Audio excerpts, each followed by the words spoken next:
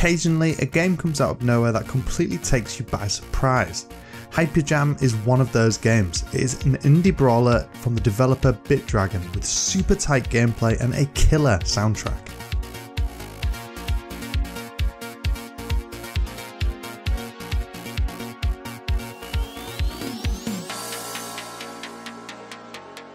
Hyper Jam pits you and up to three other players or bots to battle it out to the death in well designed small arenas. Throughout each round, weapons appear from rocket launchers and bows to swords and warhammers. Each weapon has limited ammo before breaking, but you can throw it if needed. Controls are kept super simple with a short dash to get out of harm's way, a parry to block attacks, a quick light attack and a slower but stronger heavy attack. As the round goes on, eventually a circle begins to shrink the playing area, leading to some exhilarating close finales. All it takes is a few hits before you're out of the round, causing a constant feeling of tension with each attempted attack and miss. And in Bomberman fashion, once players are out of the round, they're still able to call in target strikes to catch out unsuspecting players still duking it out.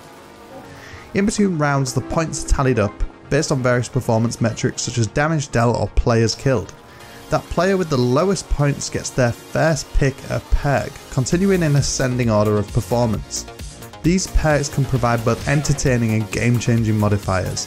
There's perks which increase your base speed, reduce cooldown, add a vampiric health stealing effect to your attacks, freezing attacks, and even ones which occasionally proc on hit to reverse the player's controls.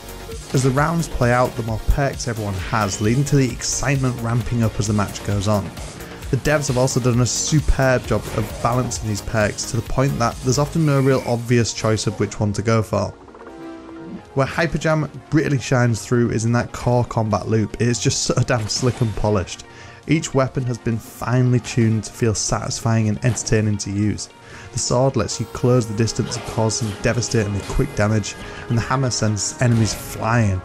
Grenades from the grenade launcher can be bounced off objects to hit a perfect shot, and rockets can swing in a satisfying arc on the way to a locked on target.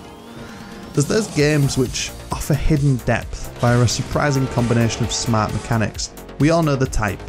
Hyper Jam is absolutely one of those. Time your parry and projectiles can be returned to the enemy, whether it's a rocket or an arrow. How about if you parry a rocket back to an enemy who then parries it back to you? Yep, that is a thing. Or how about if you fire a rocket at an enemy who then fires an arrow at the same time to stop said rocket? Yep, that totally works too. Hyper Jam is jam packed full of moments like this. There's unexpected and hilarious events occurring constantly. We had so many laughs playing this online. It is a game that provides endless amounts of entertainment, with matches often offering countless hilarious moments. Where the game falls down just a little is in the amount of content on offer. Whilst the game is reasonably priced at $14.99 on consoles and $12.99 on PC, it's fairly light on the content front to be honest. There's only a handful of arenas, 4 character models to choose from and a sprinkling of progression with some unlockable skins and taunts. It'd be nice to see the game launching with a more fleshed out cosmetics approach alongside support for teams such as 2v2 which is currently absent. There's also currently no ability to add bots to a private online lobby, however local matches are fine. That said, the online matches that we experienced before launch have shown the netcode to hold up surprisingly well. There's even crossplay between PC, PS4 and Xbox One, although we're still not quite certain whether PS4 and Xbox One players can directly play together here.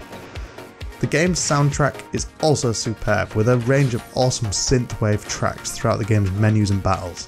Visually, the game's neon fueled 80s art style suits the tone perfectly too and performance remains incredibly tight also, locking to 60 FPS even when 4 players are firing projectiles around the game's arena. Hyper Jam is sure to sit on my console for years to come. It is a superb brawler that is guaranteed to be an absolute blast to pick up and play when you've got a few friends come over. Whilst playing with randoms or bots isn't quite as fun, the game's tight gameplay still keeps things feeling enjoyable for a session here or there. Where Hyper Jam undoubtedly shines, however, is with a group of friends, be it online or offline. The developers have created something special here, and I hope they continue to double down on it and release free content going forward. Hyper Jam offers a potentially Rocket League style arcade experience here, depending on how often the devs keep the game updated and the audience catches on to it. We'll see how things develop over time, however. Right now, Hyper Jam is a fantastic and superb indie title that is well worth checking out. Be sure to like, share and subscribe for more content like this.